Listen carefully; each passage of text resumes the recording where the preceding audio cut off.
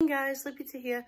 Um, I know uh, Britain doesn't really celebrate it, it's more for my American friends, but I wanted to make this vlog to say happy 4th of July and Independence Day. Big important day for all of you across the pond, as they say, over in America. I hope you're going to have a great day. I'm not sure what time it is over there right now, but it's quite early in the morning here. But anyway, have a wonderful Independence Day and celebrate freedom. And like my name, liberty and justice for all. Bye.